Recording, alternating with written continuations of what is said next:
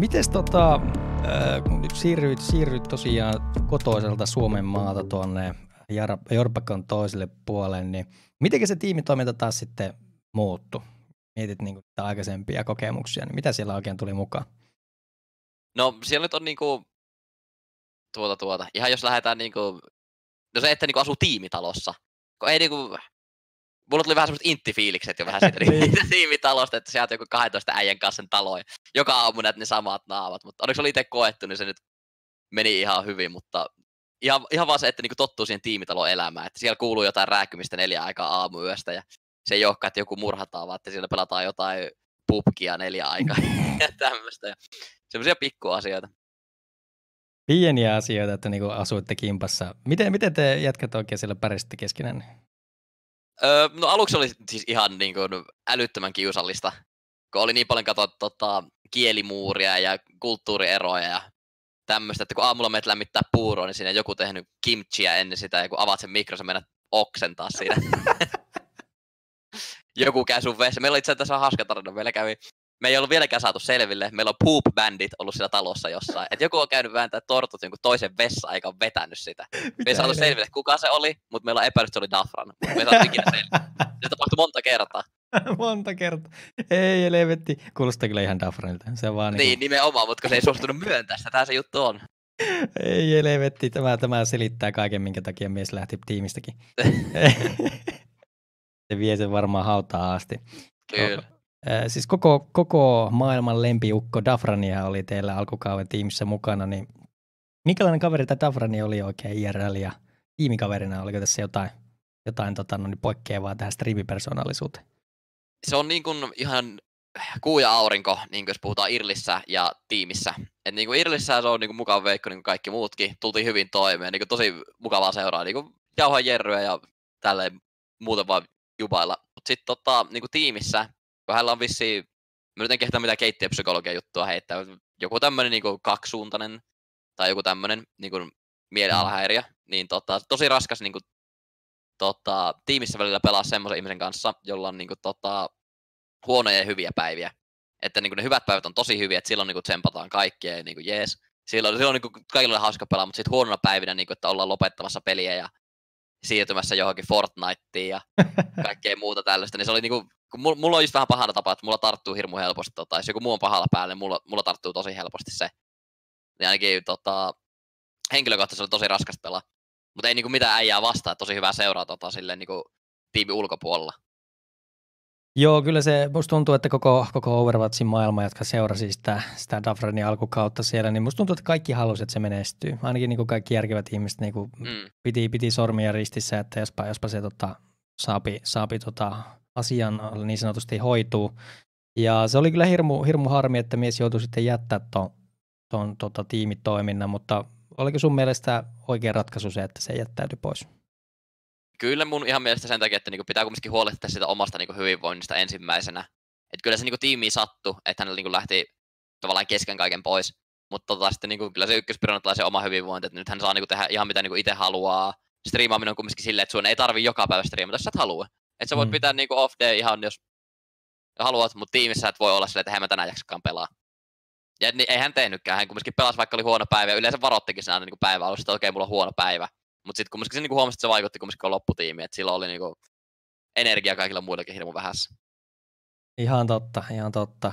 Äh, miten tota, pakko vielä kysyä tämä, Dafranin catchphrase ja Let's go dude, oliko tota koskaan tota, tiimitoiminnassa mukaan?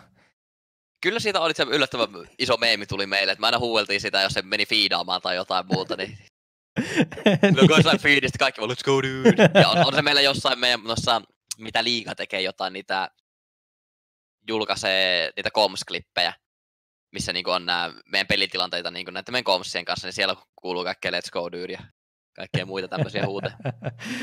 Oi vitsi, se on kyllä mahtava juttu. Miten nämä korealaiset, tosiaan teillä oli, oli useampi korealainen, niin oliko, oliko niin näissä, kun korealainen, tiedät, tiedät mitä on niin stereotyyppinen korealainen videopelaaja, se on, se on niin semmoinen tosi tosi omistautunut ja, ja ankaraiteille ja kurjalainen. Pitääkö nämä mitkä paikkaansa niin näiden teidän kavereiden osalta? Mm, tota, no kyllä mä ainakin, että ankara itselleen niin pitää pa, niin paikkansa.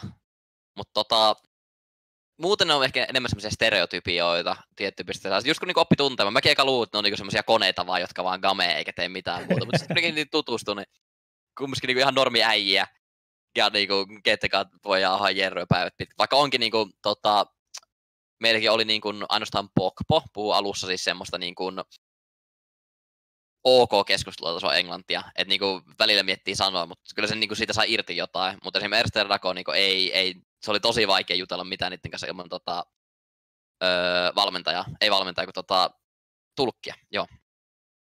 Miten, miten, miten ihmeessä sä pystyt pelaamaan sellaisten ihmisten kanssa, joista sä et niinku, käytännössä pysty ymmärtämään niitä? Jos niinku, no, niin, miten? enemmän ehkä, että miten ne ymmärtää tai miten niin sitten ymmärtää minua siellä. tässä, mä muistan, tuossa on välissä kausi loppuu, niin ne oli silleen, että joo, mä saan välillä sitten ymmärtää 80 prosenttia, mitä sanot, että me vaan kuullaan nämä ärrät siitä sun englannista, että reinhäs hätter, tai että parahas parrake, niin ne vaan kuulee ne ärrät siinä, että ne vaan yes, yes, mm, mm, jum, mm, hymyilee ja nyökkäilee ja pelailee. Ärrät vaan rutisee siellä. Ei hitto. Miten sitten nämä jenkkijätkät? Siellähän oli useampi jenkki, niin oliko, oliko nämä sitten minkälaisia jannuja?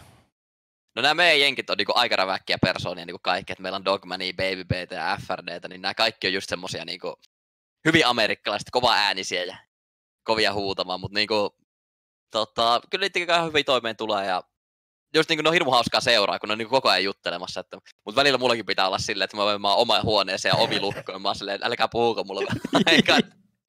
mä aloin jo aamukahvin rauhassa, että please. Ihan loistavaa.